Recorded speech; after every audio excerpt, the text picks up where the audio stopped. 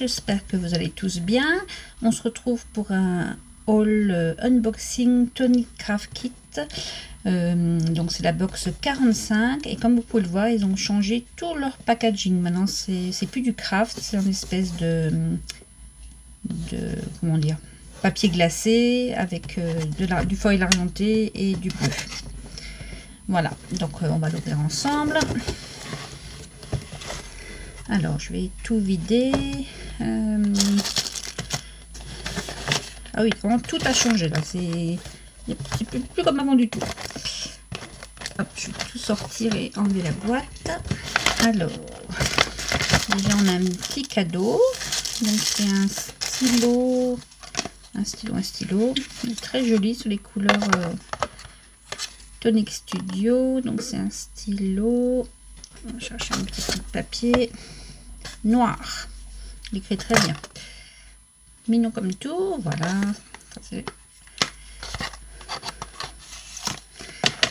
Ensuite, euh, même le classeur. Le classeur euh, qui peut recevoir trois, comment, trois kits comme ça. Euh, ils l'ont changé aussi. Maintenant, il est aussi en glacé avec ce foil argenté, ce gris et le orange de le stylo. Voilà, c'est coordonné. Et donc, alors, Serendipitous Purse Box. Alors, à traduire, on pourrait dire euh, donc une boîte avec un sac à main ou une, une bourse euh, par, euh, ouais, par hasard ou fortuite. Voilà, fortuite, ce serait plus juste. Donc, on va voir, mais, mais depuis les numéros, tiens. Euh, donc moi je le colle toujours devant comme d'habitude. Je vais marquer le numéro. Donc c'est la 45. Voilà. Alors, qu'est-ce qu'on a dedans? Ils fêtent leur anniversaire du 26 juillet au 1er août. Il y a 20% sur leur euh, site. Alors, ah d'accord, oui, c'est des bourses en fait. C'est pour faire des petits, des petites euh, bourses, pour faire des petits cadeaux. Euh, vu la taille, on va regarder tout de suite les dies. vu la taille, c'est pas très grand, donc ça peut faire euh, pour un bijou, des petits bonbons, des dragées, ou voilà, c'est ça c'est la taille de la boîte en fait que vous voyez là. Alors, il y a donc le dice pour faire la boîte les dies euh, éléments de décoration. Alors il y a thanks, merci, best wishes, meilleurs vœux. Et celui-là, je n'arrive pas à lire. Ah non, c'est du dessin. Celui-là, c'est du dessin. Ici, on a for you pour toi et with love avec amour. Pour les petits tampons clear, on a merci, amour, meilleurs vœux, beaucoup d'amour, un jour spécial et des petites étiquettes, euh, je pense pour, euh, pour cela et cela pour euh, le rond au milieu. Voilà pour les dies et les tampons. Je vais tout de suite le ranger dans le classeur parce qu'on démarre une nouvelle série.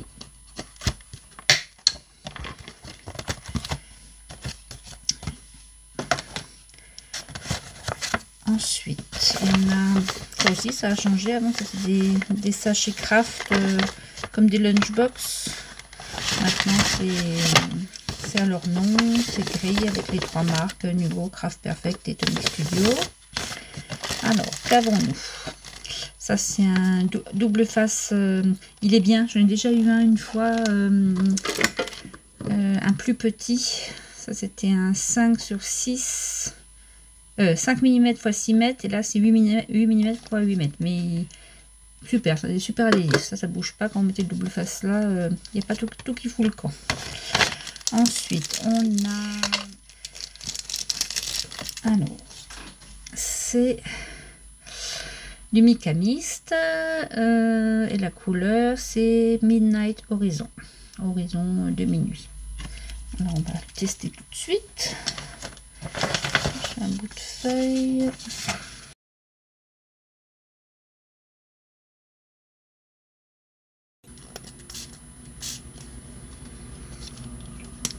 Donc, vous voyez, il coule, il coule, il coule, il coule. On va aller faire un brin de toilette.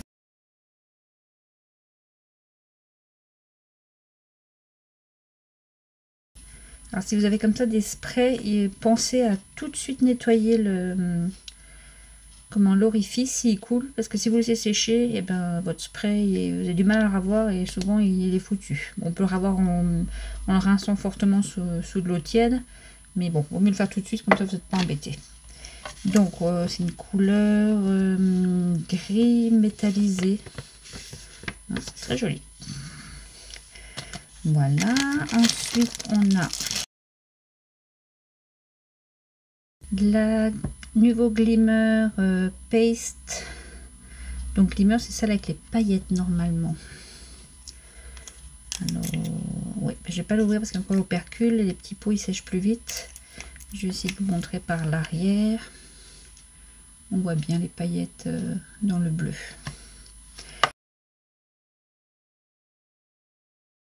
Nouveau Crystal Drops et la couleur c'est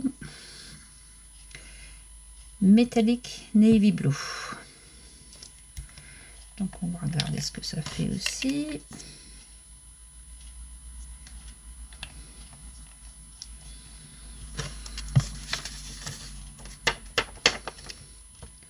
Ah, c'est très joli aussi. Je vais vous le montrer près. Ça vient faire le point. Voilà.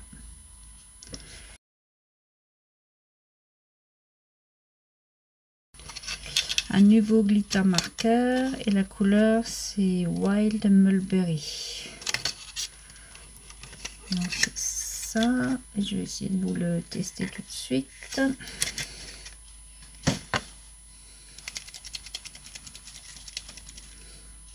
Une fois qu'ils sont ouverts, ceux-là amorcés, il faut les laisser peut-être en bas, hein, comme, euh, comme qu'il faut amorcer, parce que sinon, pareil, ça sèche et un peu loin amorcé, ça vient. Ça y est.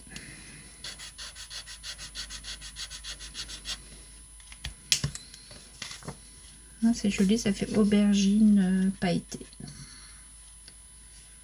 Voilà pour les produits. Ah non, il y en a encore un, pardon. Donc là, ce sont des sequins.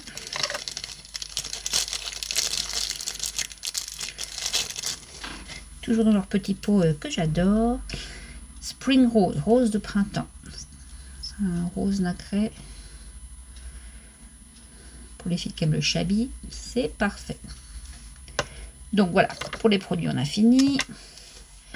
Et là aussi, ils ont changé. Avant, c'était une, enveloppe en craft renforcée. Et maintenant, c'est euh, une chemise en, papier glacé.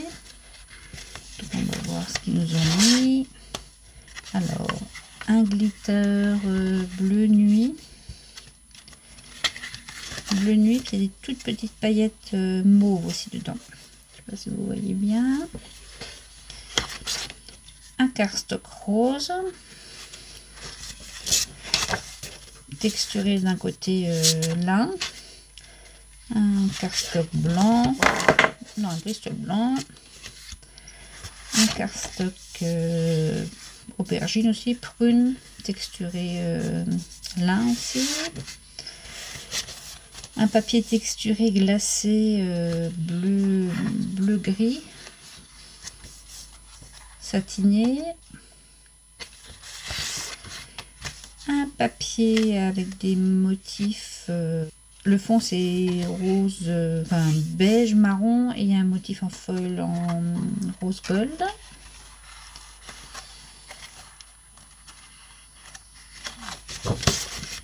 Cardstock bleu texturé là aussi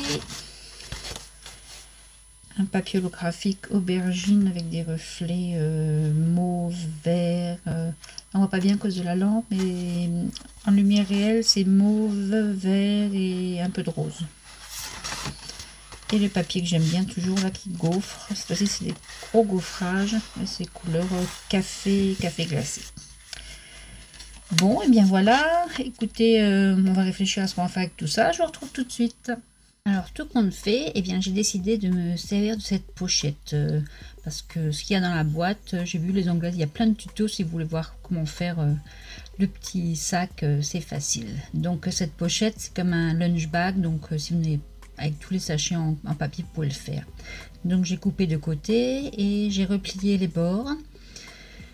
Et au milieu, comme je vais faire qu'un seul livret, ce sera pour faire un junk journal, et eh bien euh, je vais prendre juste 2 euh, cm de chaque côté de la pliure. À l'aide du double face qui était dans la boîte, je colle les côtés pour renforcer un peu. De tous les côtés, voilà. Le papier est plus fin que les sachets craft qu'on avait dans les kits précédents, mais bon, on va renforcer tout ça. Je marque euh, les plis pour faire euh, le dos de la couverture, donc à 2 cm de chaque côté de la pliure du sachet. Et ensuite, euh, j'écrase bien les plis parce que je vais replier euh, le, sachet sur lui-même pour lui donner de l'épaisseur.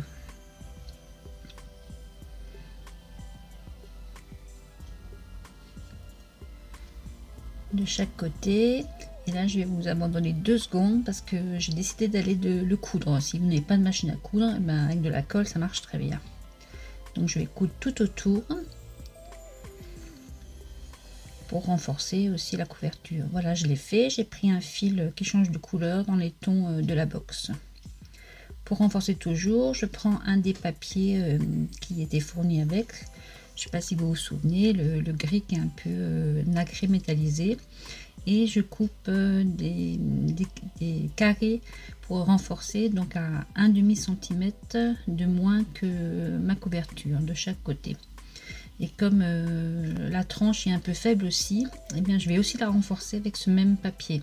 Donc là je coupe euh, carrément 2 cm de plus que les côtés. Je vais marquer les plis comme comme j'avais fait pour le papier.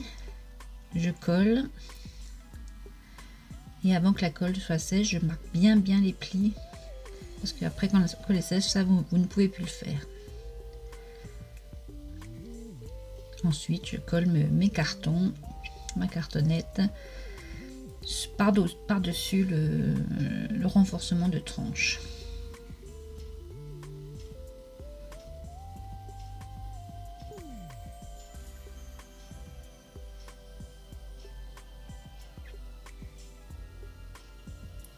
Bien mon plioir pour qu'il n'y ait pas de bulle d'air.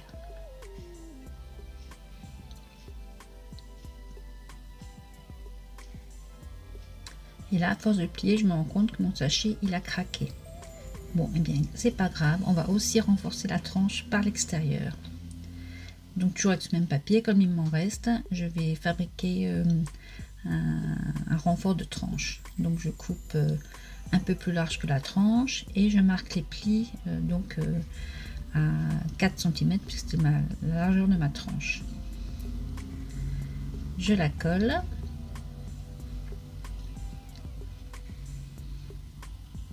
La colle elle vient de chez Nuvo elle est assez costaud elle est un peu comme la Patex.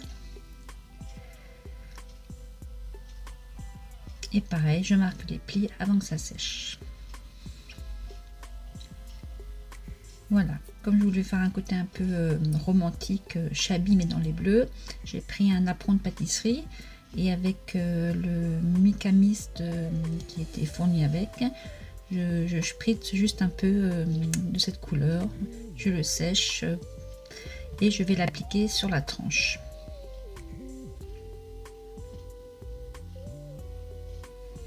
J'en colle pour l'instant juste le milieu, le milieu pardon, parce que j'ai dans l'idée de glisser sous la dentelle encore quelques images.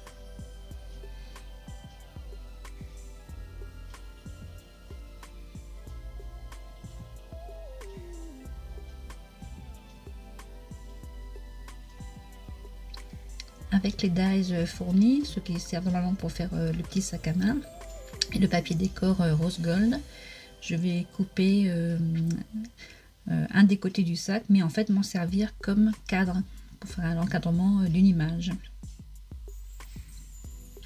Comme d'habitude, les dies marchent super bien, toutes les petites pièces sortent très facilement. Et pourtant ce papier était assez épais. Voilà, je glisse mon cadre en dessous. Comme petite image, j'ai choisi euh, une petite fée vintage. En dessous encore, pour euh, ramener un peu de côté vintage, je glisse une vieille page de livre.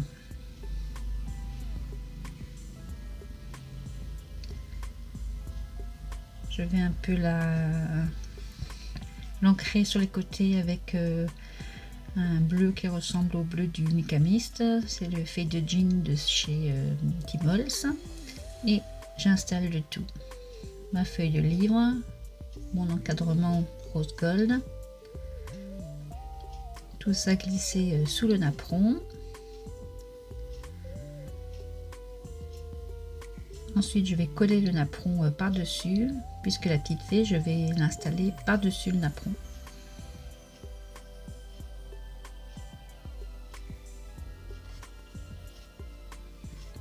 Je rabats les bords euh, du napperon vers l'intérieur et je les encolle également.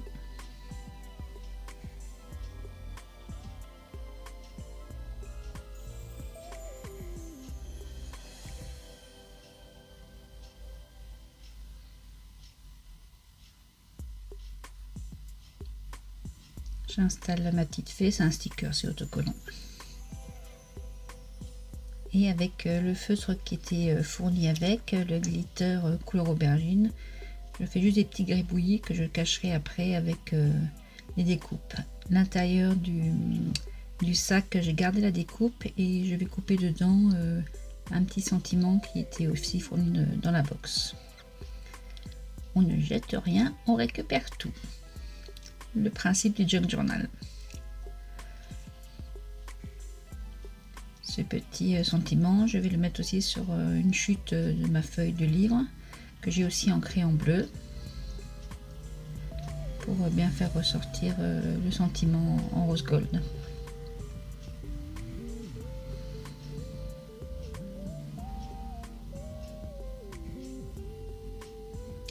J'en colle le tout.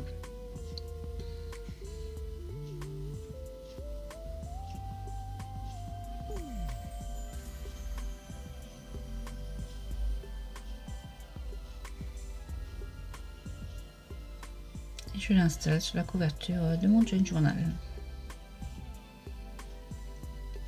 Ensuite, j'ai envie de mettre un peu de dentelle, donc j'ai pris la dentelle que j'avais trouvée chez Action, mais pour euh, rappeler, euh, comme elle est couleur un peu euh, café, et eh bien pareil, je vais la avec mon micamiste, puisque ça résiste une fois que c'est sec.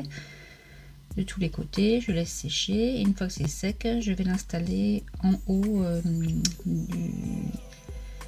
du junk. Alors d'abord à l'intérieur, je la plie en deux par le milieu et je la colle avec euh, la colle Texi Glue de, chez Action. J'étale au pinceau pour qu'il n'y ait pas de, couche trop épaisse. Et avec le reste de colle, je l'applique bien. Et ensuite, je le mets sur l'extérieur. Même principe. J'en colle, j'étale avec mon pinceau et j'applique euh, la dentelle avec le pinceau.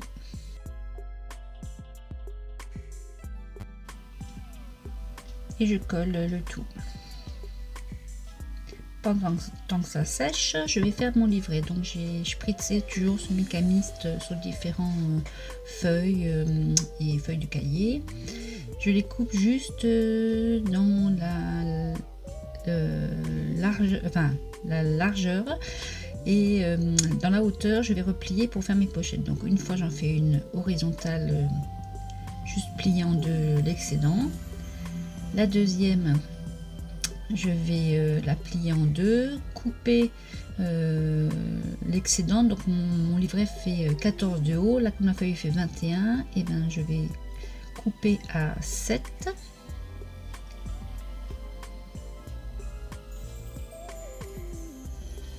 Je la plie jusqu'à mon repère. Je replie les bords vers en haut. Et ensuite, du point de mon repère jusqu'au coin de la feuille, je tire un trait parce que je vais faire des pochettes triangulaires. Je coupe euh, l'excédent et je replie. Pour la troisième, toujours pareil, je la mets aux dimensions. Là, je l'ai coupé vraiment à la dimension 14 cm et avec la chute, en fait, je vais fabriquer deux pochettes verticales cette fois-ci. Et pour la dernière, je plie en deux et je récupère mes triangles de tout à l'heure et je vais faire des pochettes verticales en triangle. Pour euh, ensuite je colle tout ça bien sûr.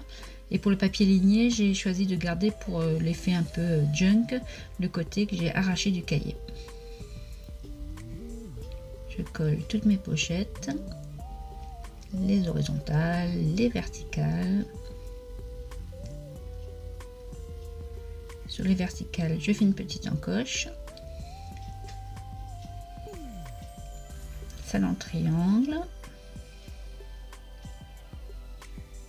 Sur l'horizontale, pareil, je fais une encoche à droite et à gauche. Et je colle les côtés.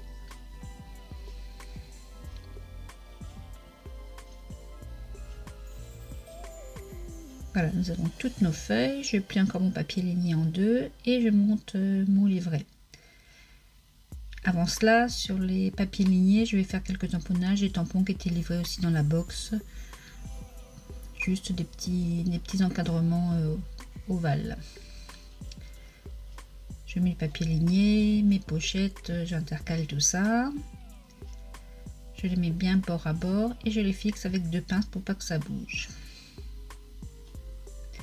sur un petit tapis de silicone avec euh, ma perforatrice. Je fais un trou au milieu. Puis un trou entre le milieu et le bord. Donc chez moi ça faisait 7 au milieu et ensuite et demi de part et d'autre de mon trou du milieu. Et je fais pareil sur une chute encore euh, de ma cartonnette du début donc au milieu et après à trois et demi de part et d'autre du trou du milieu.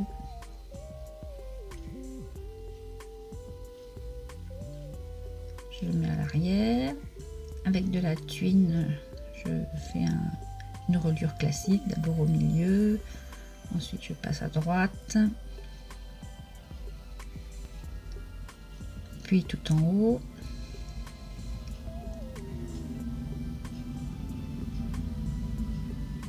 je reviens au milieu et je fixe par un double nœud. Pour terminer, j'ajoute deux petites breloques euh, au bout. Je coupe l'excédent de ficelle et je peux enlever mes pinces. Voilà, pour fixer mon carnet sur euh, ma couverture, je vais utiliser du scotch euh, qui sert à mettre la moquette par terre normalement. Donc je mesure ma tranche et je coupe le scotch euh, à la taille de ma tranche. Et pour vraiment consolider, je rajoute euh, un peu de colle avant de, mettre le scotch double face, des deux côtés du, du côté collant du double face.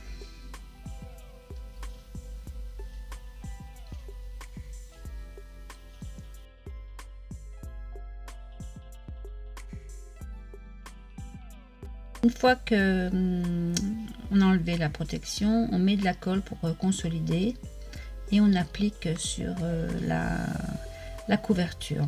Ça prend tout de suite, faut pas se tromper. Voilà. Une fois qu'on a fait ça, euh, j'ai fait quelques tags dans les papiers qui étaient fournis dans le Tonic Craft Kit. Le papier aubergine, le cardstock aubergine, et puis aussi le papier holographique aubergine aussi.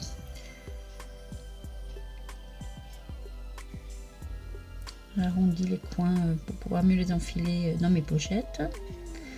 Et dans le kit aussi, il y avait des petites euh, tags étiquettes que je vais prendre, ainsi qu'un des côtés du sac pour faire à nouveau une pochette. Donc sur une page de livre, je coupe mon fond de sac ainsi que deux étiquettes et dans le papier holographique, je vais couper la dentelle. Pareil, les couteaux marchent toujours aussi bien, pourtant ce papier était assez épais. Je vais coller euh, ma dentelle euh, sur euh, ma page de livre.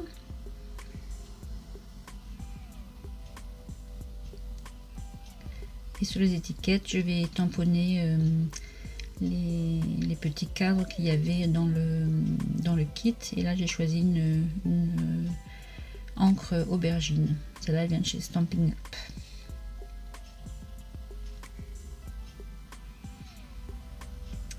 je vais installer euh, ma nouvelle pochette euh, dans mon junk en ne collant euh, que de côté. Ce sera une pochette de coin.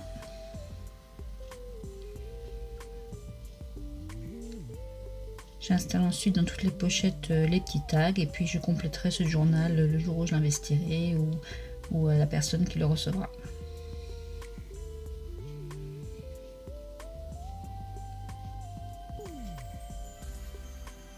Je termine en faisant euh, le nœud euh, sur la tranche. Maintenant ma dentelle euh, est sèche. Et puis comme c'est un junk journal vite fait, hein, c'est le titre que je lui ai donné, je vais pas faire de bijoux d'album, je vais juste mettre sur une épingle à nourrice gourde une petite breloque que je vais épingler dans le, dans le nœud. Pour utiliser le max de produits de la box, je vais encore coller quelques sequins et faire quelques nouveaux drops euh, par-ci par-là. En fait, dans cette boîte, j'aurais presque tout utilisé, sauf euh, la Glimmer Paste. Euh, celle-là, je ne l'ai pas ouverte parce que c'est un petit pot et par expérience, je sais que si on l'ouvre, il faut l'utiliser quand même assez rapidement. On peut toujours les récupérer avec un peu d'eau, mais c'est quand même plus pareil. Voilà, bah écoutez, j'espère que ce junk journal vite fait vous aura plu. Euh, je trouve que cette box est sympa. Le bleu, c'est pas ma couleur, mais en la mélangeant un peu avec du vintage, euh, je trouve que le résultat, euh, ça va. Eh bien écoutez, j'espère que vous en sortirez à le refaire chez vous. N'hésitez pas à vous abonner, à mettre un petit pouce en l'air, ça fait toujours plaisir. Et puis je vous fais des gros schmutz. Salut, peace